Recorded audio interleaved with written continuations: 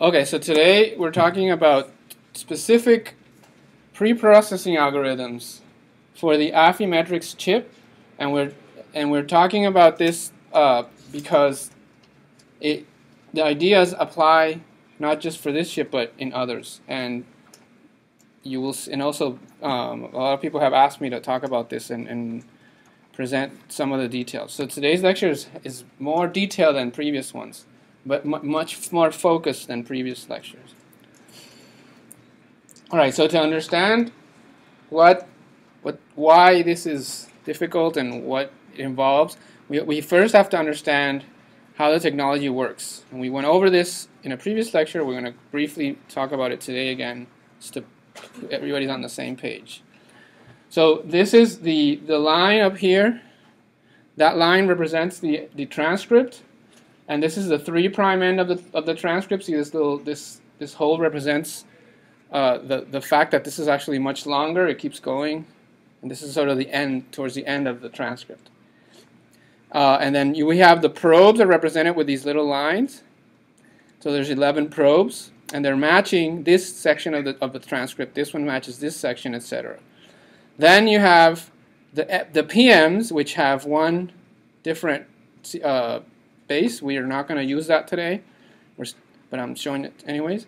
And then down here, what I'm showing in this, this little triangle, I'm blowing it up so you can see what, what this is in terms of bases. Here's, a, here's the, the transcript as it will be in the, on the chip.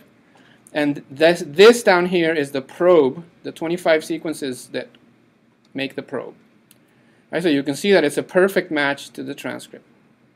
The MM is not a perfect match because it has one difference base here. So down here, I'm showing you the what you kind of will see on the array. You'll have a little cell, the feature that will light up if this transcript is there, and the MM shouldn't light up as strong because it has a mismatch. That's a cartoon representation. In the cartoon, they're all next to each other. That's not the case in in the in the actual array. On the actual array, they're they're spread out randomly or haphazardly to avoid spatial effects ruining everything, which happened in the early versions of the chip. Okay, so that's what the data is. So we have for every gene, 11 numbers, 22. If you include the MMs, we're not going to talk about the MMs. We're not using them in this lecture. So it's 11 numbers per gene per sample. Right? So then we, we need to remember that we're going to have several samples that we're doing case and controls. We will have some replicates for each, so we'll have you know between six and hundreds of samples. All right, so here's the data illustrating the probe effect again. But now, when we showed this earlier, it was related to background. We, sh we, showed, we showed how the how different probes have different background levels. Today we're showing how different probes have different affinities to actual signal. And this picture, this is one of the first probe effect pictures that I saw was made by Cheng Li and Wing Wong in, in their first paper on, on, on the subject. And this is not the exact picture they show, but it's like this. Uh, so but what I'm showing is for this for the spiking experiment, I picked two samples. So I have sample red and sample blue. And for each one, I'm showing uh, a gene. This is one, one gene only, where each um, for, for, the, for each gene, I'm showing the values for each probe on the two samples. So that's why we have, in this case, it's 16. This is one of the older chips. It had 16 probes instead of 11. So we have 16 probes, and you can see the probe effect very clearly. Right? Why, why do I say that the probe effect is very clear? What do you, what, give me one very quick example of what really demonstrates the probe effect here. Um, which one? 11 and 13 is a good one, right? So his, this one, they're the same transcript. They're supposed to be measuring the same thing, yet this guy is about 8 times bigger, actually close to 16 times bigger than that one. So same, they're measuring the same thing, yet they're very different in what they show. Now, why do we call it a probe effect and not just measurement error? So if you look at the at the blue gene, at the blue sample, the same thing happens again. It's it's it is consistent. That, that's what actually makes it okay. So the probe effect is there every time. So the difference between the two samples is, is correct. If you take the difference between 8 and 4, you get the right answer at pretty much every probe. If you go probe by probe, every time you get the difference of about 1, which is the right answer because I, I forgot to say this. The 4 is the, the amount of spiking in this sample, and 8 is the amount of spiking in the other one. So it's, it's twice as much in one versus the other, which is why you should get a difference in the log scale of about 1. So if you go probe by probe, just move, move your eye, you'll see that every time the difference is, about, about, is correct. So the, the probe effect is, in that sense, is not really a problem. And if you're compu computing relative expression, it will cancel it, itself out. Now here's, a, here's a, a similar picture. We saw this earlier. This is showing us, instead of two arrays, it's showing us 11 arrays or something, or more than one, right? So every point in the curve is a different array right? So you can see different points, and the the uh, different colors are the different probes. So this is just one. Each column of points is one array, and then we start going up in spiking amounts, and you can see that it starts going up each one. And as was pointed out in a in the in a previous lecture, these guys are close to parallel lines, which is good. It's good that they're all going up. That's good. That means they're all detecting signal. They're parallel. The fact that they're far away is due to the probe effect. But you can see it's consistent. They, they, it's consistent across chips. Okay, so what, what does all this matter? Why am I telling you all this? So if you want to, if you want to, the, the knowledge that there is a probe effect actually helps quite a bit, and it's the reason it helps is because it helps you detect outliers, which in these chips there's a lot of outliers. So why do I say that? I'm going to explain why that is. Why is it that knowing about the probe effect helps detect outliers? So here is a model. This is the model we're going to use for this um, for this data. This is the RMA model. It's very simple. It's just a linear model. So you, we're going to take the PMs in the log scale and we're going to assume that they have a array effect for this this is for one gene so each gene gets this a model like this fitted to it and then has a probe effect represented by b and then an error represented by epsilon so in this model as a statistician we're thinking of these two as fixed effects right now and then this is a random this is random this is measurement error these are these are there they're constant we're going to estimate them so if you have one gene, there's 11 probes, how many parameters do we have if we have one sample?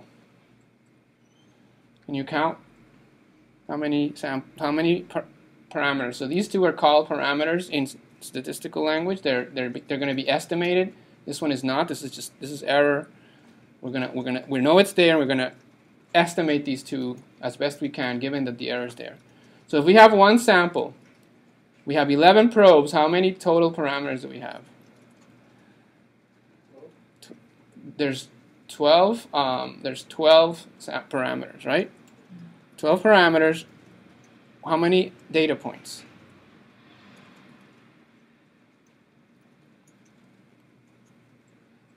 How many data points?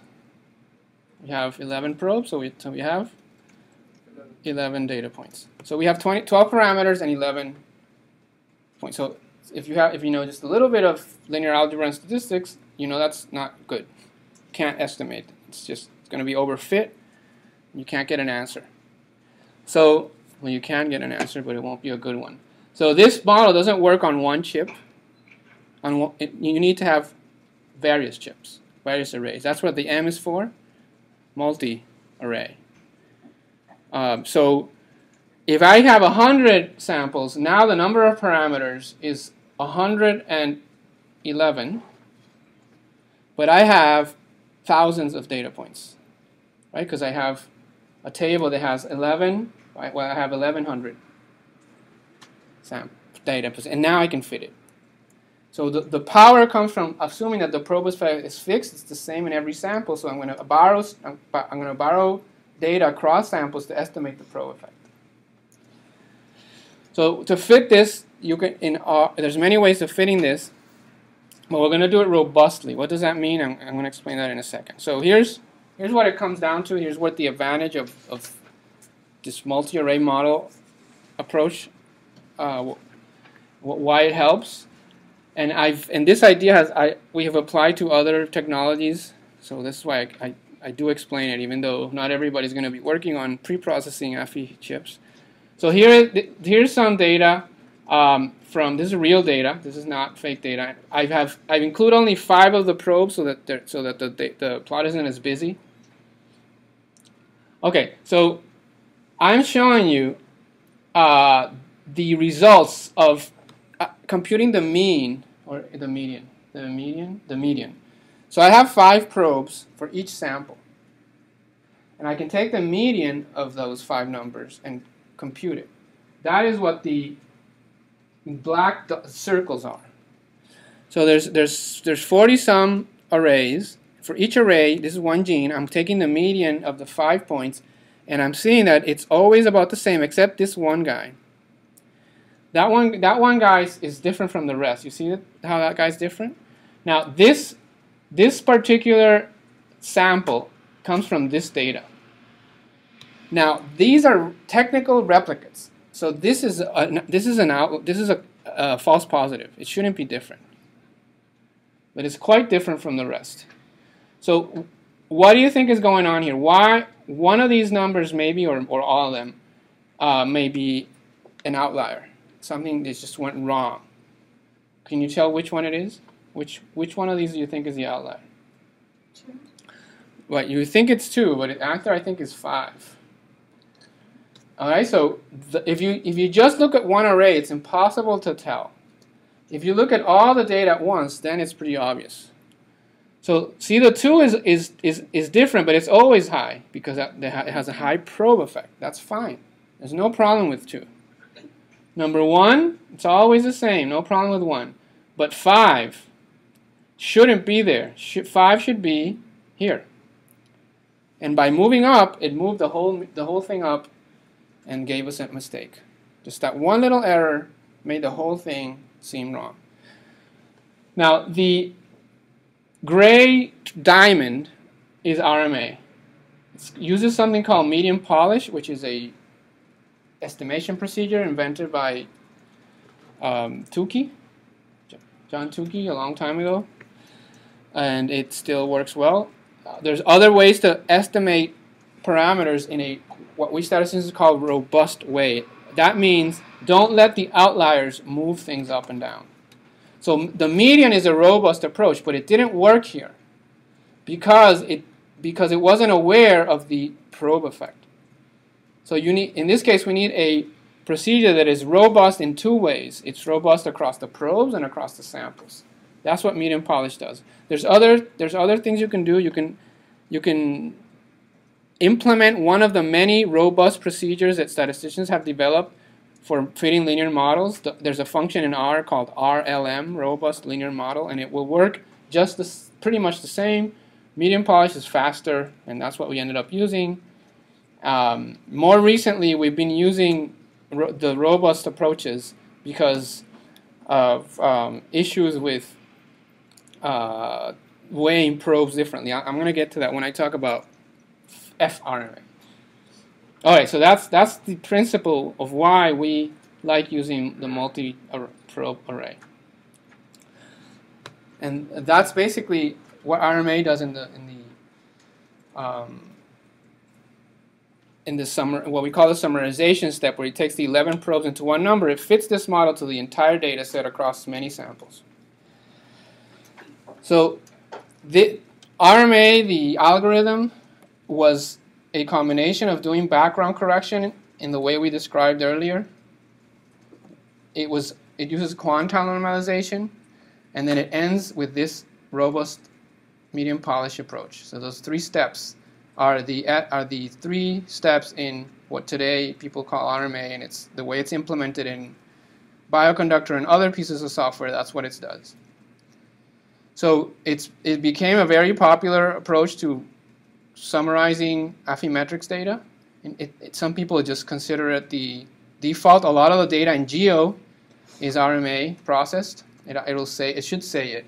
sometimes I don't know if they always say it. Sometimes it's just there. If the numbers are between four and sixteen, it was RMA. If, it, if they're between, um, well, I don't know what the other numbers are, but usually when they're between four and sixteen, it usually means it was done with RMA. Okay, so Affy expression arrays are typically processed with these with this approach. Now, today, a lot of people now that we kind of we have kind of figured out microarrays today in 2012, finally, and now people are trying to actually use them for diagnostics and clinical applications. Like there's there's a there's a procedure called MammaPrint, which was developed using microarrays, and it's being sold. And there's another one called I think it's OncoDX that is also developed microarrays and it's also being sold. So now they're finally used, being used to, to do real like clinical translational stuff. So people wanting to, to take a microarray data and, and convert it into a diagnostic where you give them your RNA and they put it on a chip and you get an answer can't use RMA because it needs to work on a single chip. I just explained why we use all these we have to use all these samples, and we can't do that here. We can't take one, uh, we can't apply it to one sample. It doesn't work. So the, the FRMA is the answer to that problem. And the F stands for frozen. And what is frozen? What we freeze are the probe effects and the normalization uh, distribution to which quantile normalization normalizes to. So this is the idea.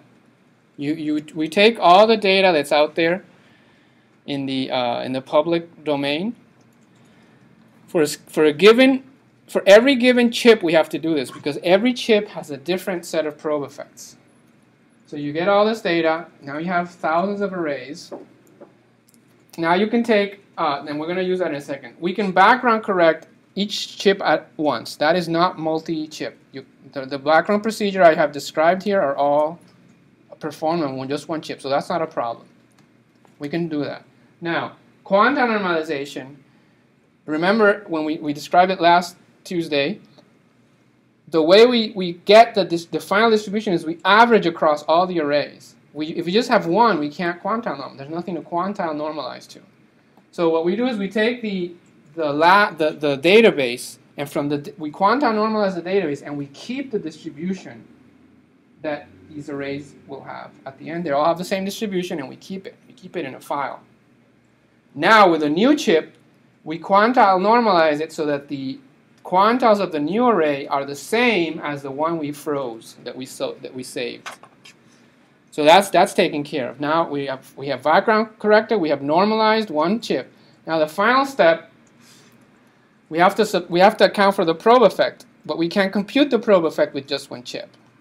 But we can compute it if we have a database. So we compute it on the database and we freeze that those numbers and we keep those and now we can do RMA with one chip.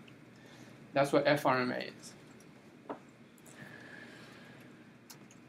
So here, that's what I just described. Okay, so a couple of interesting things we found while, while doing this, which we now use to our advantage. This is a this this is a plot of the standard deviation across all the um, chips. So we have a thousand chips. We fit the RMA model, and then we have the we have the residuals, and we can compute the standard deviation of those residuals. This is the these these are the this is a histogram of the twenty thousand standard deviations you get one for each gene. So one of the things we, we saw that we weren't quite expecting is that th there's this heavy tail. See how th this is what we expect to see, you know, kind of a, Uh, a chi-square looking thing, but then this is this tail is longer than, than we that you expect if the data is just typically behaves like you would expect. So these probes that are out here are probably just bad probes. They just move around too much. So we might as well get not use them. So we tag those by actually by weighing them using their their their pre-estimated standard deviation. So here's an example of one of those guys. These are the residuals. So you, you can see there's several arrays. Each column of points is an array. And we have, um, for each column, we have about 11, well, we don't have about, we have 11 points Those are the 11 probes that we got on each array. And notice the red, the red one is, is behaving very weirdly. We shouldn't, we shouldn't even bother using that one. We don't. We just remove it. That's just an example of a bad behaving probe. And we don't, but again, one thing that we should point out, you don't see this until you look at data across many, many samples. All right, so um, a bigger problem actually has to do with the batch effect. So from the big databases, we can get several examples where you have the same tissue hybridized by different labs. And what we can do is we can we can compute an F statistic for the for for each probe that has a batch effect. Uh, that, that probes that move across batches will have a big F statistic. And again, we see a pretty long tail. That's because some probes appear to be more susceptible to whatever it is that's causing the batch effect. Here's an example of one of these probes. This is these are residuals from again. This is just like the previous plot. There's 11 points because there's 11 probes for, for several arrays, and now we've divided up into into studies. So you can see with the dashed lines you can't they're kind of faint but there's these dashed lines here that divide study 1 study 2 study 3 study 4 study 5 study 6 and you can see how the, the, the entire residual cloud moves dramatically from lab to lab and that's not this is a this is a bad probe not all probes do this but this one is very very susceptible to the batch effect this is another one that's a candidate for just removal um, it's not. It's it's. It, it might just make things worse to include it. So uh, here is a, this is an example uh, showing um, another issue with, with RMA. This is what people have complained about using it in, in batches. So if you if you normalize a group of of arrays, so here's I didn't mention this earlier, so I'll mention it now. Another reason uh, groups don't use RMA is because they have a big operation and they're constantly adding results to a database. So they keep adding, adding, adding. So if you're going to use a multi-chip approach, you would have to rerun it every time. You add a new array, run the whole thing. New array, whole thing, whole thing. You keep doing it. Or maybe you can do it by you can do it by groups instead. But if you do it by groups, then batch effects would be introduced from the pre-processing. So the, the statistical approach was introducing a batch effect, and that's what that's what this is. This is a data set. It's a nice data set. It was produced in one lab where they have sorry, where they have two of e of several tissues. They have two biological replicates. You can see here's here's liver two, and here's liver one. So what I did is I separated them out into two into two groups. Right there's the just just randomly into two groups, but each group has one of each tissue. And we pre-process them together, and when you, when you compute the correlation between these samples, you can see a very strong batch effect. See how there's high correlation here with this group and here, but not, not across. That's basically a batch effect introduced by the pre-processing. Here, red means high correlation, yellow and white mean low correlation. Now, if you do FRMA, that completely goes away, completely and well almost completely and then you have these squares now you have these new squares that weren't there before uh, and it, but those squares do make sense. These are all brains. See lobe lobe spinal cord well nervous system I should say. Thalamus. Yeah so this is all brain this is all nervous system. And then here what is this? Is this a real thing? Uh, maybe not. Can anybody see if that makes sense? I don't know what I can't see what this is here. Tongue, no, no, that might just be a artifact. Ovary and skin, yeah, nothing. All right. So there's these are these are the papers that you can read to um, learn more about these approaches. They're very specific to Affy, but I think the ideas can be used in other situations. Okay, so any questions? Yeah. Okay, what is the what is the main difference between RMA and FRMA? So the model that I showed er, very early on. Okay, this one.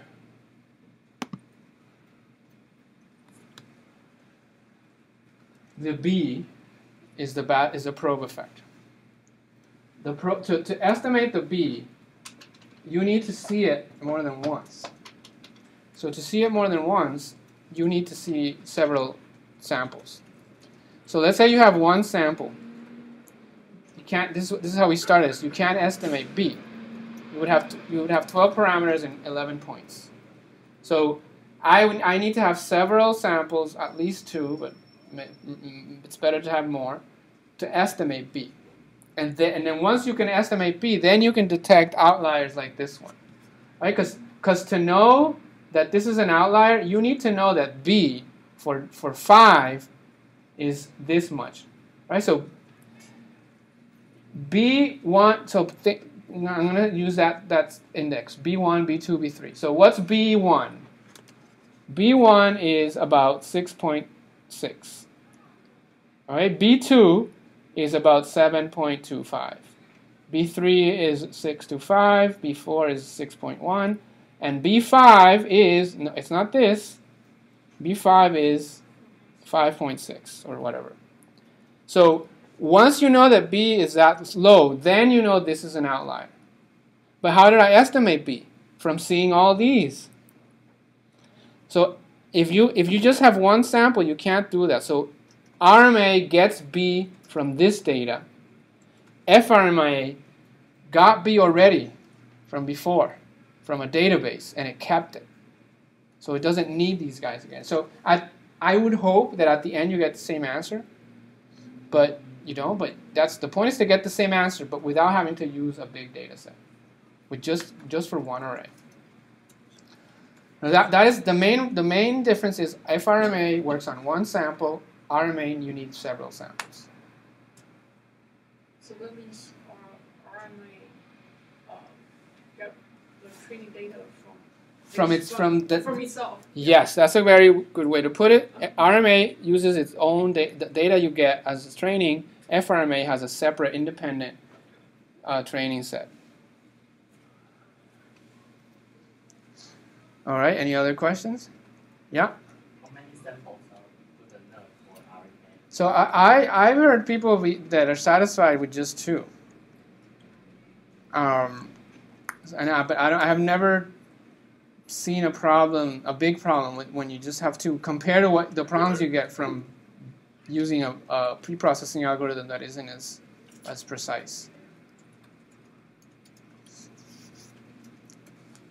One is with one you get an error. It doesn't even run, but with two you get, it does run, and it does give sensible answers. So if you want to use FRMA, it has to be a chip in the database. Yeah, very good question. So FRMA is not available for all chips. Uh-huh. It's only available for right now.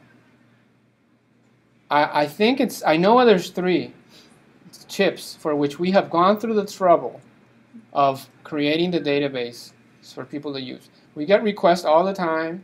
Hey, I just I'm using this chip. I'm you know I study plants or Arabidopsis. There's no FRMA for Arabidopsis. So we now created a, a package called, what is it called? Oh, it has a funny name. Uh, anyways, I forgot. But I think it's maybe just called FRMA Tools. It's the paper that has a funny name. So um, thawing, thawing something or other. So, so FR that that um, tool lets you create the database if you get the data. You have to go get the data and create it. So now anybody can do it if they have the, the patience to download their own big database and run it. But we, we have created three, but I, I think we might have put some more up. But um, yeah, that's a good point. Not, you, you have to go through all, a lot of work to get to, to that. Other questions? Yeah. Yeah, one. That's the point. So, so would it be better to use mRNA I, I, I, yeah, we have we I. So is it better if you just have, if you have few samples, which one should you use? So we haven't done a careful comparison of that to answer that question.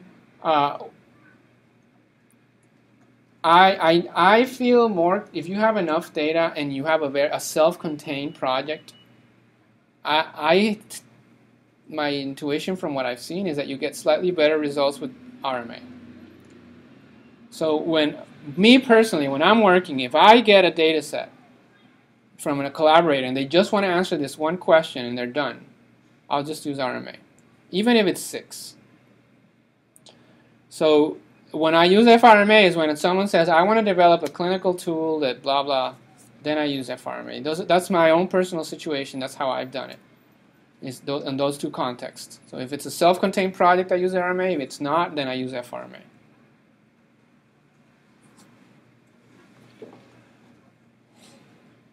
More questions? Yeah?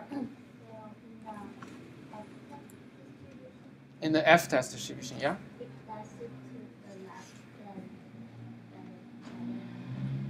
Um, let's see it again. Here. So you do not you want you you want the null hypothesis to be true. The null hypothesis here is that each so the way we do this is we, we fit RMA, we have the residuals, and now you test if there's if the variability between studies is zero. That's that's the null hypothesis. You want that. We do not want the residuals to correlate with batch. So having big numbers here is bad. We want them to be down here in the in the in the cloud of of, of non-significant stuff. Yep. Yep. Is there any spatial correlation to the batch and to the probe effect? Ah, yeah. There's a lot. So, um, yes. So, so first of all, a lot of the ah, it's too bad I don't have. I might do this later. Then now that you asked that, it reminds me. When you do, there's another step that I haven't talked about, which is quality control. And when you, one of the quality control steps that we that we use that we've been using for a long time, is to plot. You you fit this model. You have residuals. So for each chip, you have epsilon ij hat. Okay, and you can make you can make the image, and the mo the, the, the most common problem that we see when a when a whole when a chip seems to be behaving funny is a big blob of high residuals. So you will oh see big spatial, like we'll see like drops, what appear to be drops. We see thumbprints a lot. Wait, what was the image? You take the, the you fit this model. Uh-huh. So now you have for, you have epsilon ij hat. Oh, So you have so. Okay. you have 200,000 epsilon j's, and each one is associated with a location on the chip. Okay. Um, give me a second. I'll show you some of those pictures. I, ha- I have them right here.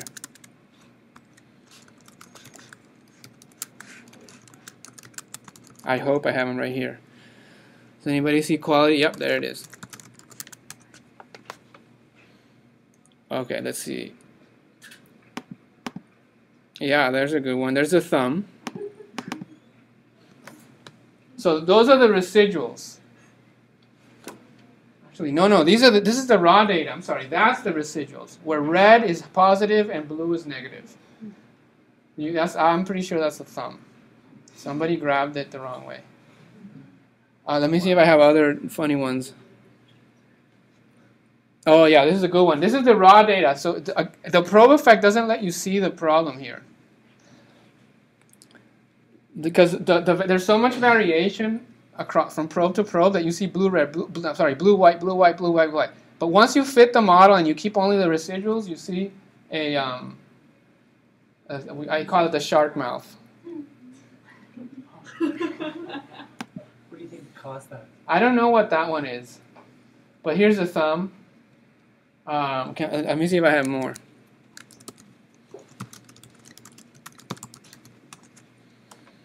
yeah there it is So here it is. Oh, look at these. So he has the crop circles, the thumb, the Ring of Fire, the French flag, moon shape, arcs, etc. So, anyways, that's just some of the things we see. Now, a lot of these aren't. So, this is a. If you see this, if you see the thumb, you're you should remove it. The this one you should also remove it. Um, but the the shark mouth I showed you, that's not a problem. Um, you don't have to get rid of that one because the, the, the, the, number of probes that are affected are small, and it'll be like one, and our RMA gets rid of it. Right? It's, but the when you have a whole thumb, there's the chance that a, that a gene falls in the in that image is, is a problem.